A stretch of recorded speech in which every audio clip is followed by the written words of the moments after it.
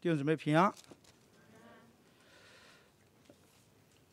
我们呃，马太福音的系列讲道已经到二十讲了，是已经接近尾声了。我们先把今天的经文朗读下，是马太福音二十四章一到三十五节，新译本。啊，男生可以读单数节，呃，女生读双数节一起。耶稣出了圣殿，往前走的时候，门徒前来把圣殿的建筑指给他看。门徒说。你们不是看见了这一切吗？我实在告诉你们，将来在这里并没有一块石头留在另一块石头上面，每一块都要拆下来。耶稣坐在橄榄山上，门徒暗中前来问他：“请告诉我们，什么时候会有这些事呢？你的降临和这世代的终结有什么预兆呢？”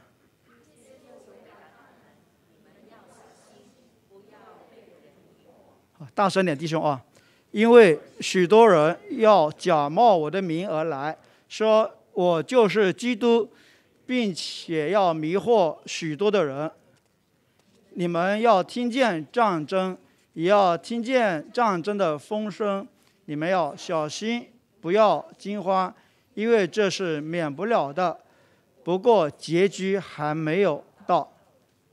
一个民族要起来。攻打另一个民族，一个国家要起来攻打另一个国家，到处都有饥荒和地震，这一切不过是痛苦的开始。那时人要把你们送去受苦，也要杀害你们，你们要因我的名被万民恨恶。那时许多人会失去信仰，彼此出卖，互相恨恶。也有许多假先知出现，要迷惑许多人。因为不法的事增多，许多人的爱心就冷淡了。唯有坚忍到底的，必然得救。这天国的福音要传遍天下，向万民做见证，然后结局才来到。当你们看见但以理先知所说的那造成荒凉的可憎者，站在圣地的时候，那时住在犹太的应当逃到山上，在房顶的不要下来拿家里的东西，在田地的也不要回去取衣服。当那些日子，怀孕的和乳养孩子的有祸了，你们应当祈求，叫你们逃荡的时候，不是在冬天或安息日。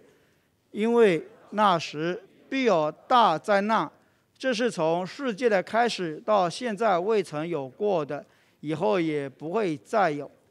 如果那些日子不减少，没有一个人可以存活。但是为了选民，那些日子必会减少。那时，如果有人对你们说：“看了，基督在这里”，或说“他在哪里”，你们不要信。因为必有假基督和假先知出现，显大神机和骑士。如果可以的话，他们连选民也要迷惑。你们看，我已经事先告诉你们了。如果他们对你们说：“看，基督在旷野里”，你们不要出去；或说：“看，他在内室里”，也不要相信。电光怎样从东方闪出来？一直照到西方，人子降临的时候也是这样。尸首在哪里？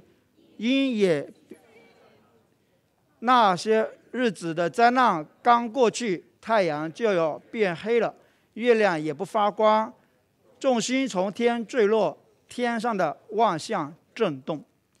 那时，人子的征兆要显在天上，地上的万族都要哀嚎。并且看见人子带着能力，满有荣耀，驾着天上的云降临。当号筒发出响声，他要差派天使，把他的选民从四方，从天这边到天那边都招聚来。你们应当从无花果树学个功课。树枝长出嫩芽，生出叶子的时候，你们就知道夏天近了。同样，当你们看见这一切，就知道人子已经在门口了。我实在告诉你们，这一切都必要发生，然后这世代才会过去，天地都要过去，但我的话绝不会废去。啊，这段经文啊，这个主题我们讲到的也是跟这个世界末日有关啊，啊，是耶稣基督在地上教导门徒观察再来的一个主要的经文。坦白来说，围绕世界末日的经文不太容易讲，我也不敢多讲啊。不过，如果世界末日一定来到，那我们就不能不去做些简单的了解跟有所思考。我们先有个祷告，主耶稣基督，谢谢你，你预先告诉我们很多关于你要再来的一些事事情。我们今天也选择谦卑顺服和开放的心来了解、来聆听，特别是在我们今天所处时代，我们怎样去应用你的话语，去明白你的话语，还在地上更好的跟从你。求你今天保守你的在各处奉你名聚集的你的子民，也包括我们中中间的，我们一起聚集，一起听得到。求你使讲你的话语的和聆听你话语的，都从你话中得祝福、得益处、得激励，也得力量。谢谢主，求你眷顾这个。聚会，奉耶稣基督名求，阿门。呃，前些日子我有有在深圳隔离酒店完成之后，就去和我一个大学同学，中国科大的本科同学呢一起讨论信仰问题。他说：“现在科技发展到这个程度啊，人能够长生不老。”我说：“不对，只能延长寿命，不能永生，对吧？因为构成我们身体的原子啊，甚至太阳系都有一天会被毁灭。”他这个就没法否认了啊！依据最新的天文学的一个推算，太阳的寿命已经过了一半，还要约五十年就会烧得差不多了。那个时候，太阳跟地球跟呃月球啊，就地球跟月球会被太阳吞没，太阳会发变变大。那地球上生命其实在这之前十亿年，就我们现在算起十亿年，可能就会完结了。这有点像这个二十九节经文所描述的情形啊。那些日子在那刚过去，太阳就变黑了，月亮也不发光了。众星从天坠落，天上万象震动啊！这个你当不当心？你这么一天啊，太远了，对吧？但是玛雅人挺有远见的啊，他们认为太阳终将会毁灭，所以他们做些自我牺牲。他们为了保留太阳的光芒四射，阻止它灭亡，做什么事啊？他祭拜太阳神，用人的心脏跟血来喂养太阳神，他可吃得肥肥的，延长寿命。啊，其实人类整体死亡比这更早的发生可能性还很多种啊！你们看看我写 PPT 上说的，第一种可能性，人类现在看得见的破坏地球到不可逆转啊，全球变暖啊，就不再适合各种天气的气候变化不再适合人类生存。第二种可完全失控的核大战。第三种可能是因为种种原因啊，我这次序调了一下啊，人类的生育能力啊急剧下降到灭种。还有第四种可能是超级的地震啊，会超级的火山爆发；还有第五种可能是小行星撞地球；第六种可能呢是太太阳跟地球越越近，因为现在地球在远离太阳的，那远远离到一定程度，地球变个冰冻的行星啊。第七种种种啊，可能明天耶稣再来了啊。伟大的科学家牛顿三百年前预告过，二零六零年耶稣要再来，开启一个新的神圣的时代，你们信不信啊？我们中间很多人在说会在做了，还还会活着啊，那可谓拭目以待。不过主耶稣在二十四章三十六节我们没有读的经文提醒我们，他不让我们知道那个日子哪天来到，所以这日子可能更早更迟，不一定是二零六零年。在上海封城的时候啊，有位核酸检查是阴性的男士，他坚决反拒绝警察非法转运他去别地方隔离，然后那个警察威胁说。你这样个决定会影响你家三代，那这位男士对警察说：“这是我们的最后一代，谢谢。”这话让全世界人震惊啊！因为国家最高领袖醒悟过来了，把以前那个强迫妇女堕胎的国策改为鼓励生育，但是新一代人另外一种醒悟哦，不想生孩子了。啊，不单中国啊，我昨天看新闻，联合国有个数据说，最近一段时间，全世界有一半的怀孕是被终止的。所以我们每天在杀一半的人，是新生儿，另外一半死掉了。这个景象有点像圣经所说的十九节：当那些日子，怀孕的和乳养孩子的有祸了。所以这是不是很可怕？所以马斯克啊，他这么说的关于生育问题啊，其实这不是一个危言耸听啊，是有一定道理的。如果任由 AI 来掌管人类，对吧？代替人类，所有事情 AI 去做，然后用独裁者或者少数的精英来掌控 AI 化，我想人类很快就可以灭亡了，绝种了。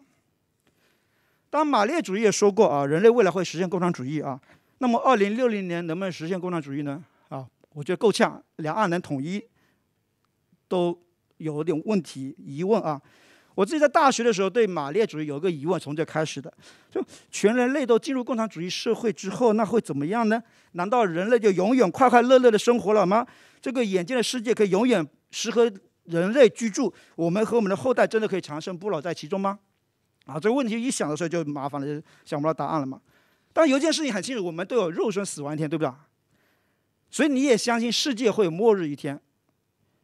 那如果这样，你怎么样面对自己的肉身死亡？或者面对世界末日呢？可能同一天，可能不是同一天。然后你在思考，世界末日到底对我们是好事还是坏事？你是怕呢，还是等待它来？这个问题可能你不能不去想的。没人问你不想，一问你就要想。哦，盼望你晚上不要睡不着觉。再问一个问题：如果你想到世界末日到底它是像电影《二零一二年》啊，可能看过啊。没看过没关系，《明日战记》啊，你可能看过，那挺恐怖的，是不是？那俄乌战争爆发的时候，有人说这个就是圣经所预言的末日之战来了啊！也有人担心我的孩子也说，是不是世界第三次世界大战要来了呢？我们就要惶恐不安。然后在这个欧洲最长的桥——克里米亚大桥被炸之前呢，俄罗斯的当局就警告乌克兰说：“你一旦炸这个桥呢，我就要对你进行末日式的审判的这个攻击。”当然。十月八号的时候，真的这桥被炸了啊！大家就捏把汗，对吧？普京会不会用核武器啊？那核按钮什么时候按下去啊？那普京这样挂在嘴边的核武威胁，也让全世界人真的有点担心，世界末日会不会提早来到？可能大家也知道过叫“世界末日”的时钟，是芝加哥大学每年发布的啊。在俄乌开战之前的一月二十号，他们已经公布了二零二二年的世界末日的跟就我们。到世界末日这样用个二十四小时的描述的话，只剩一百秒了，也是历史以来最近的一个时间。当然是二零二零年就这个时间，他一直没改啊，就还是维持这个时间。那我们回望二十，已经二二年快结束了，这一年呢可以说是冷战之后啊，末日的阴霾最沉重的一年。所以大家对末日怎么感受？会对末日什么样的态度呢？其实也一定会影响到你今天的生活安排。要不要买楼？要不要去旅游？啊，要不要做些什么平常不做的事情啊？当然，有一些传道人跟弟兄姐妹会对这世界末日很多的猜测，他把圣经中只言片语呢做某些词汇的发挥，很多的讲解，好像跟今天某个人物啊、某个事件啊、某个国家的发生事情就好像一一对应了，啊，大家害怕啊，呃，有点或者是让你赶快信主。我是觉得就有时候徒增混乱跟烦恼，因为可能过段时间不应验了，对不对？但也有很多的人可能不去思考世界末日的事情，就当这个事情跟我们是没有关系的，可能不发生，或者跟我们太远了。我们只看到眼前的东西啊，看到我们所属的团体，哇，这个基建那个很恢宏的，呃，兴旺的发达了，好像就唱赞歌的来不及了，哪想着世界末日的事情？我们看看当时耶稣的门徒啊，在有什么情况下发出这个疑问的啊？就在经文的一到三节，再读一下啊。耶稣出了圣殿，往前走的时候，啊，门徒前来把圣殿的建筑给他看。他对门徒说：“你们不是看见了这一切吗？我实在告诉你们，将来在这里必没有一块石头留在另外一块石头上面，每一块都要拆下来。”耶稣坐在橄榄山上，门徒暗中前来问他：“请告诉我们，什么时候会有这些事情呢？你的降临和世世界的终局、终结有什么预兆呢？”所以门徒看见希律所造的第二圣殿是宏伟辉煌，一个自然反应啊。在这里还缺了个细节，在马可福音十三章第一节，同样经文讲的说：“夫子，请看，这是何等的石头，何等的殿宇啊！”再往前点啊。所以这是以残暴来统治犹太人的希律王朝，他是不得民心的。但是他做一件事情，他为了讨好犹太人，就用四十六年的时间去盖一个非常宏伟的圣殿。比所罗门圣殿还宏伟，也是当时全以色列最宏伟的建筑。他说建圣殿用很多很大块的石头，今天在还看得见在西墙上啊。我没去过以色列，他们的文献说，西墙的拱土石呢，最长的石头有四十尺，就十多米啊。还在东墙有一块石头啊，它重量超过一百吨。那犹太裔的史家这个约瑟夫还记载，哎，好像 PPT 不见了啊。他说当时用来装饰的金鸡很多啊，所以太阳反射过来，你一看就眼睛都睁不开的，很有耀眼的。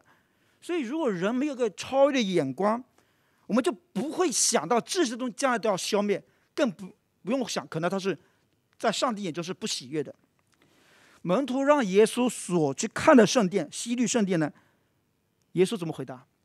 他说：“这些要彻底被毁掉，直到每块砖头都被撬开。当然，因为金子荣耀，很多想金子拿出来就把它撬开嘛。啊，对此当然门徒不知道，他就很诧异的。不过他门徒也半信半疑，就问了三个问题：第一个，这圣殿什么时候被毁掉？第二个，你再来，还有世界末日之前会有什么征兆呢？这个就是我们刚才所读的四到三十五节经文主要回答的问题。所以耶稣在这段经文中直接跟我们讲，关于世界末日有三个要点。其第一个方面啊，我们先不讲具体要点之前，在耶稣看来，这个世界末日或者门徒他应该知道是个好的事情。为什么呢？三十节我们读一下啊。下一页啊，那时人子的征兆要显在天上，地上的万族都要哀嚎，地上万族哀嚎，对不对？并且看着人子带着能力，满有荣耀，驾着天上的云降临。所以对一些人来说这是坏事，但对更多。信耶稣的人来说，它是个好事，神的荣耀来临。所以耶稣明确告诉了门徒会再来，是值得期待的。但再来之前，耶稣都讲了很多不好的事情要发生，这个就为门徒打了预防针，叫他们可以预备好自己去迎接主的再来。所以三个要点，第一个要点就是，看经文中第四到第五节和二十三到二十八节会提到的，就是耶稣提醒门徒要谨防假基督和假先知。我们可以再把这经文读一下，四到五节，一起啊。耶稣回答他们：“你们要小心，不要被人迷惑，因为许多人要假冒我的名而来，说我就是基督，并且要迷惑许多的人。”啊，二十三到二十七节。那时，如果有人对你们说：“看呐，基督在这里，或者说他在那里”，你们不要信，因为必有假基督和假先知出现。显大神机和骑士，如果可以的话，他们连选民也要迷惑。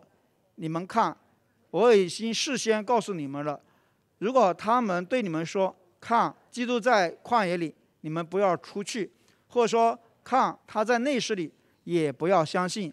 电光怎样从东方闪出来，一直照到西方。人子降临的时候也是这样。那尸首在哪里？鹰也必聚在那里。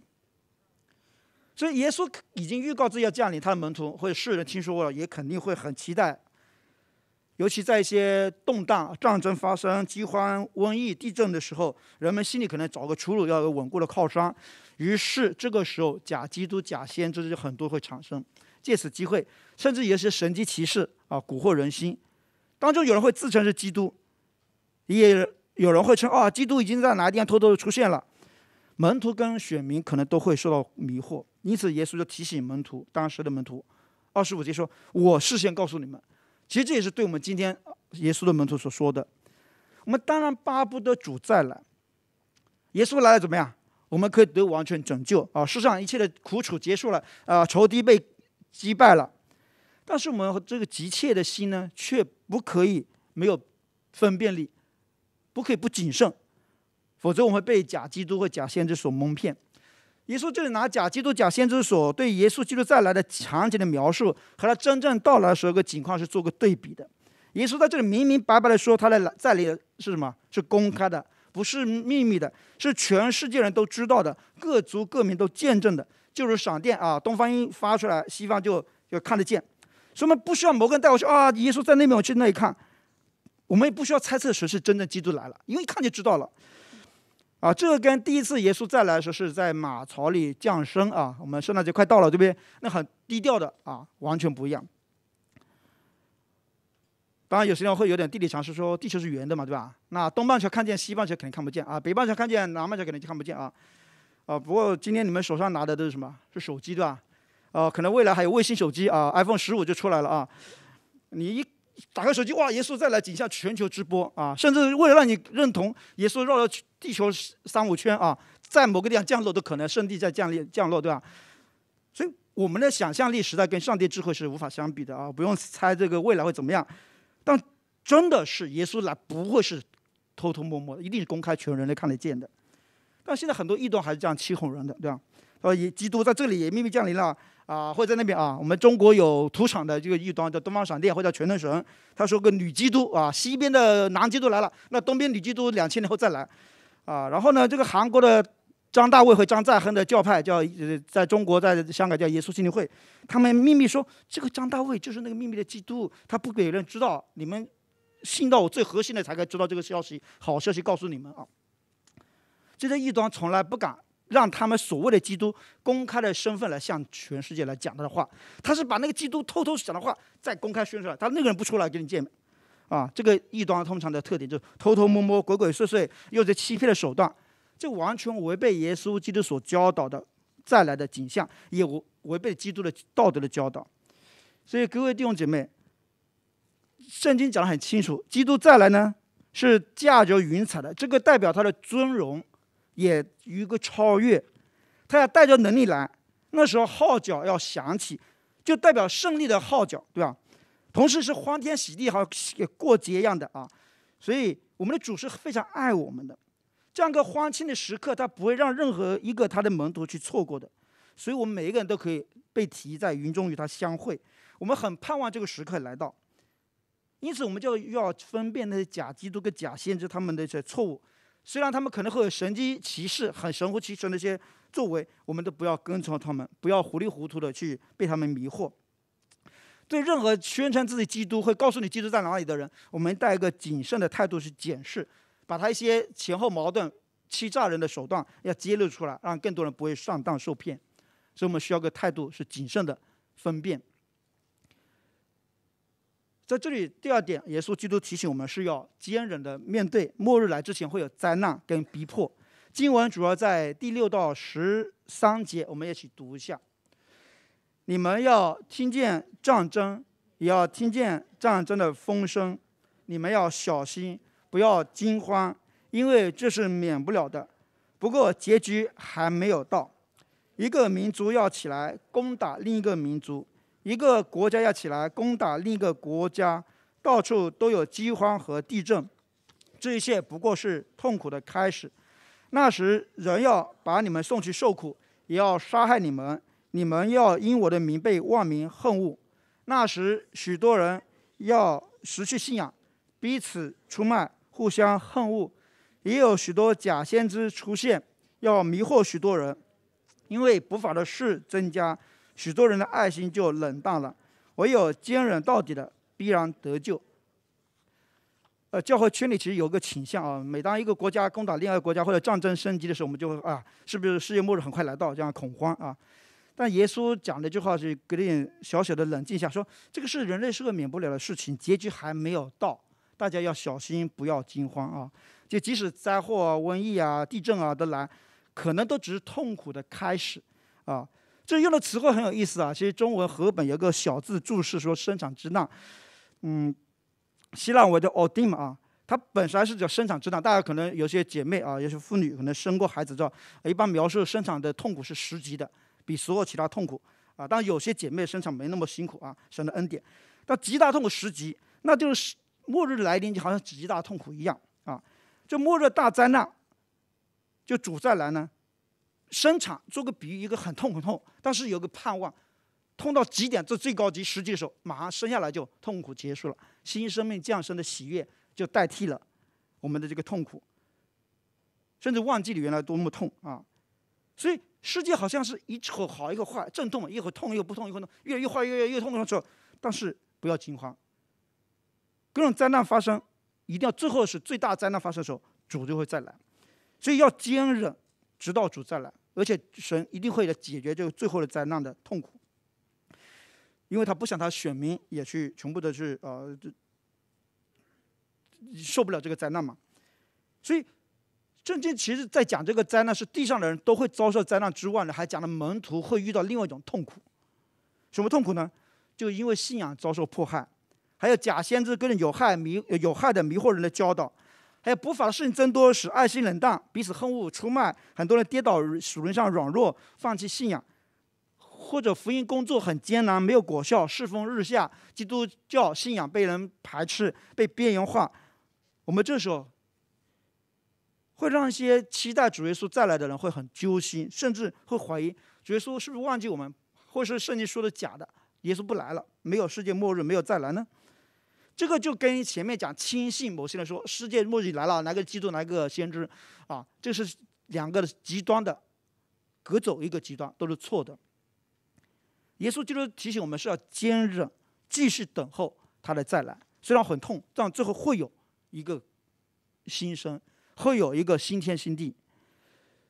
我自己上个月底啊，在呃跟太太一起回去上大陆探亲啊，已经时隔将近三年了，回去看到各处的教会啊，或者社会的情况，也看得见啊，明局线也看得见啊。我们往下一页啊，教会受到逼迫，各处的事，然后施工很多停顿或者荒废，社会人心呢更加刚硬，这其实让我挺忧伤，甚至有点痛苦的。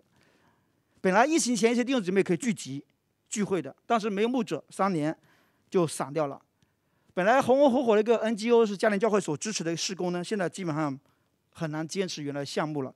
啊，有关部门明示暗示他们，你必须参加官方教会，你这施工才可能往下走。然后一个大学老师被威胁，你不能再去嘉联教会聚会，啊，三次你也不能去了，你是公职人员，你要去你就开除你公职，网上聚会也不行。然后公基督教的公开的出版物越来越少啊，有一些基督徒的书店、主内书店陆续关门，有一些很勉强继续在维持。然后有位弟兄，他因为铁链女的事件写几篇微信公众号文章，就被停止在一个民办学校做兼职的老师。而有的教会崇拜被打散了，那原来一千多万买的房子呢，不能再用了，空着，必须二三十个人分开分开去聚会。然后一些。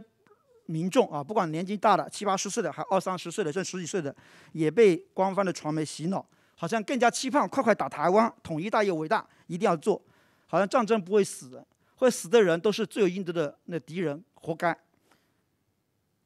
弟兄姐妹，如果你看到今天不仅是中国，或美国，或欧洲、俄罗斯各处这样的处境挺恶劣的，你会不会两腿发软不干了呢？会不会？会不会就软弱退后了呢？我得承认，我有点这样的情绪。不过耶稣这里说，这种事情发生不要以为稀奇，是免不了的。耶稣预先告诉我们，就让我们知道，这些都在上帝的掌管之下。我们不要惊慌，我们要忍耐待忍耐到底。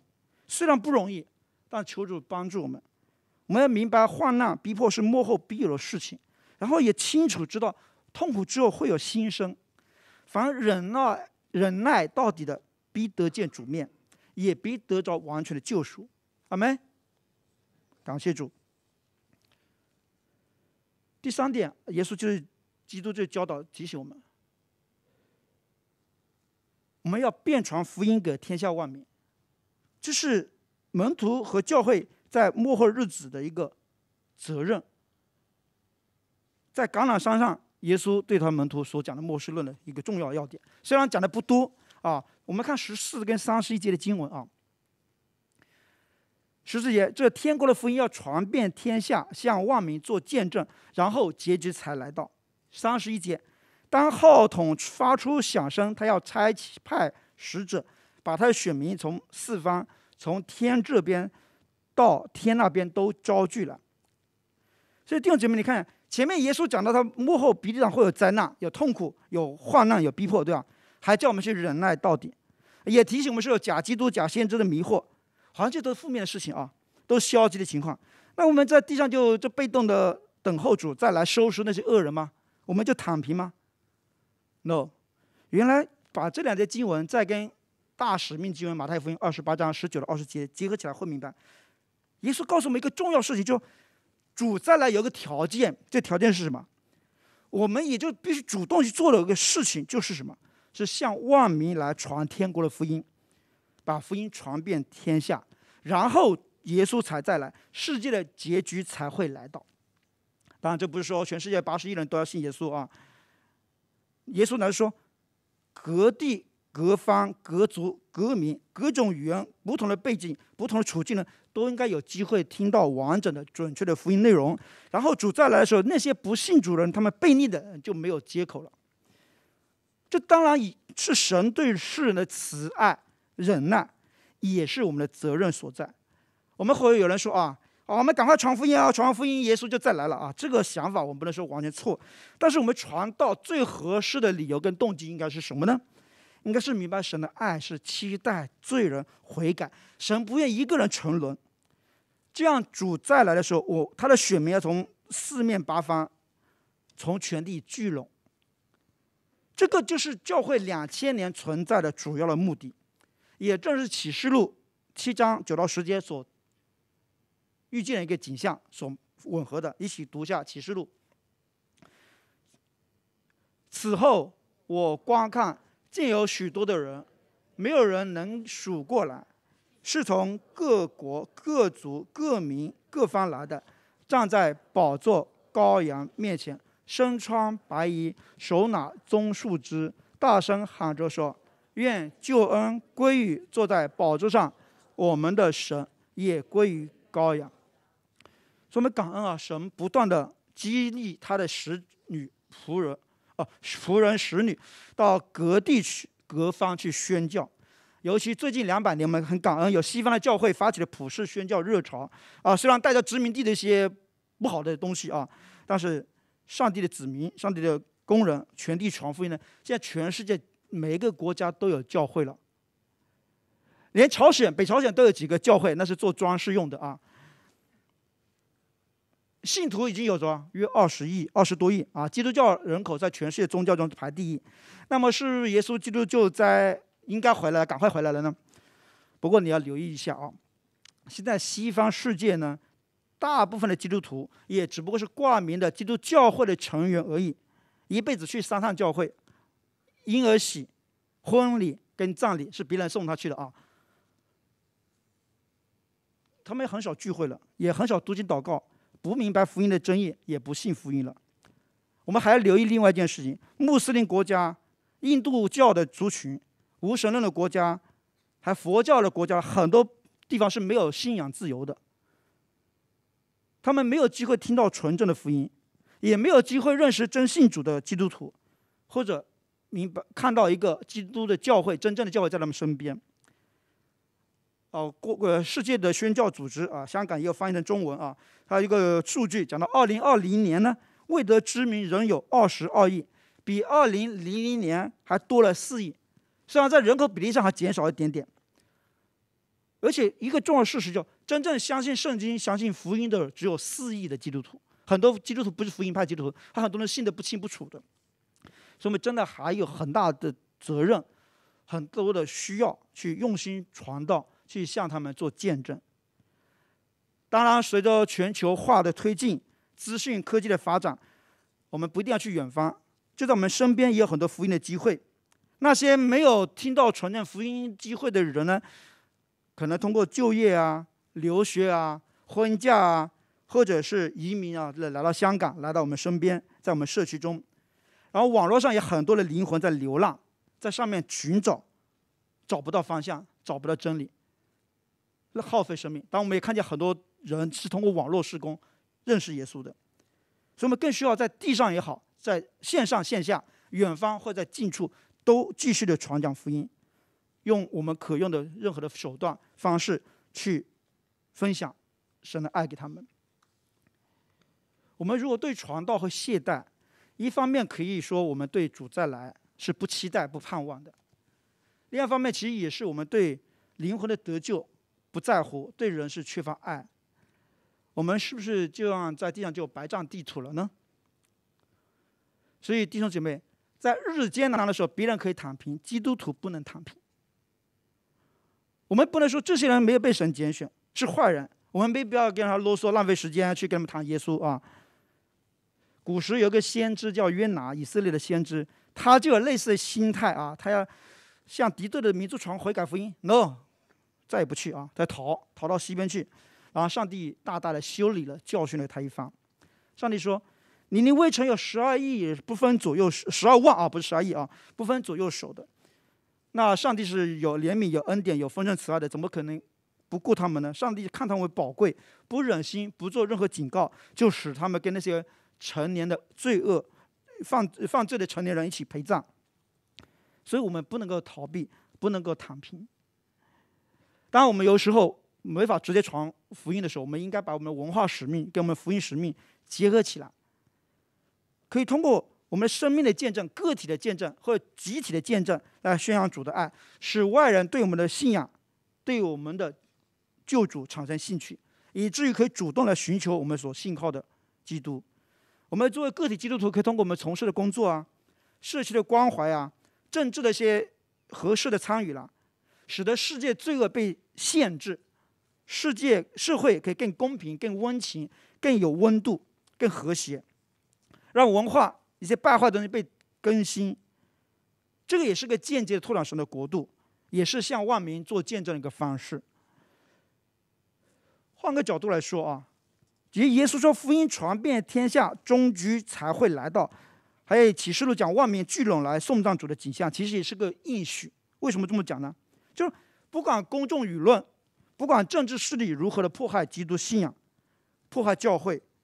那福音的传播是无法阻挡的，要直到世界末了。耶稣说他必与我们同在嘛。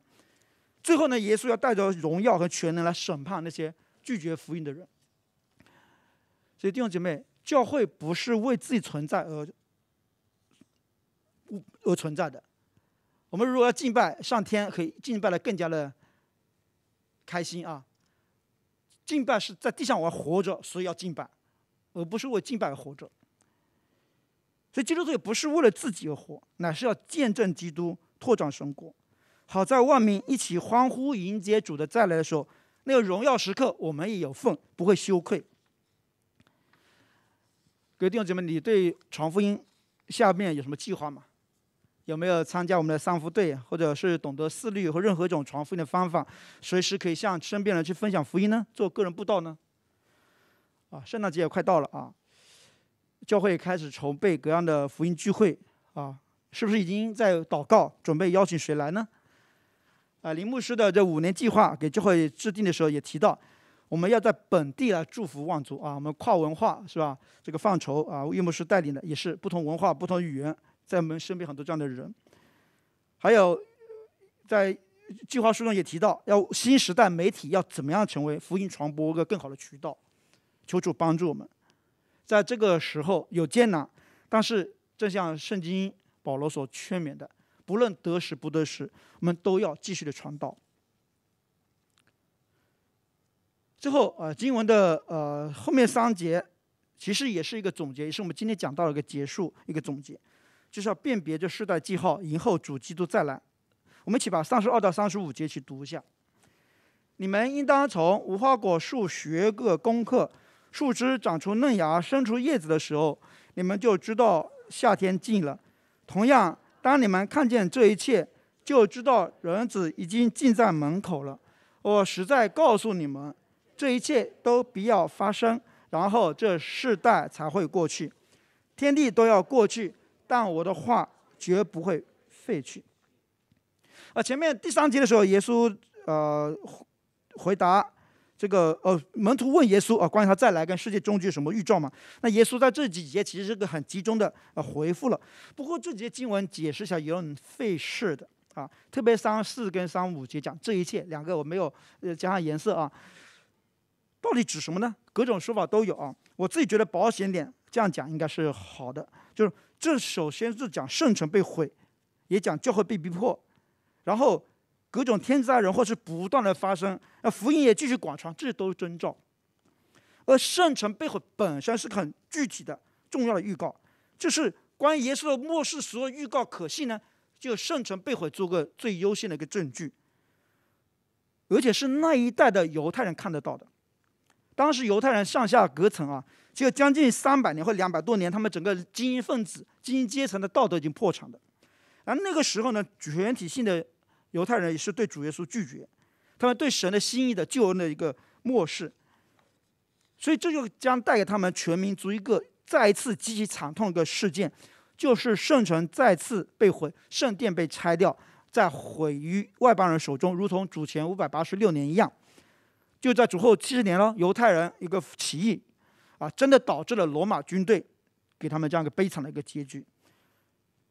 而主耶稣基督，他最后他是未来神与人同在的圣殿，不是人手所造的。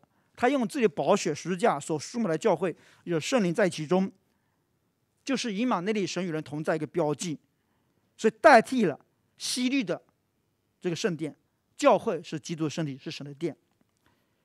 当我们在读这段圣经，还留意一件事情，就是和本跟西本在三十四节的一个翻译上有点出入的啊。和本说这些事都要成就，西译本说什么？这些事都要发生啊。这个希腊字叫 “ginoma”。那圣经学者卡森这么说的：说这涉及到一个已然和未然的概念，就末世性的兆末世的兆头性的事情呢发生了，却到最后日子这些全部才结束。比如犹太人的悲惨命运啊。